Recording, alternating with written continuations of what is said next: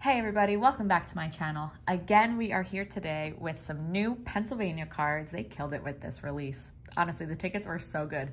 Um, this one's called the Cool Mom Club. How fun is that? We are looking for a flower symbol for an automatic win, a peace sign for a win all, and then up here, if we can find that butterfly, we win the prize next to it.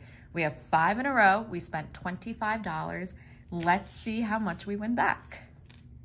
I love this one. I think it's so cute groovy, if you will. Let's see how well it scratches. We haven't done these yet. Oh, that's not a straight line. okay, no symbols yet. Oh, is that all we need?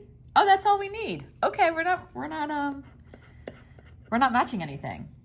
I didn't even realize. Clearly, we haven't done this before. Okay, so nothing in that one you know, you read the directions and then you still don't know what to do.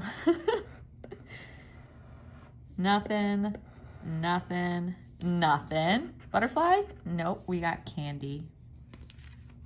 Okay, now I kind of like this one even more. Now that we're just doing symbol searching. I think I might add this to our next book idea. Yeah, unless we don't get anything. I mean, Okay, $15 so far down the drain. Can we get anything or? Again, we're looking for a flower, a peace sign, or a butterfly. We got a gift. Uh-oh. All right, last one. Huh. Well, that was very quick. Let's see. Nope. No. Oh, there's something. We got something. We got a flower, so we went automatically, whatever that is. And we got a butterfly. There we go. Here it is. We got five. Ooh, we got 20 back.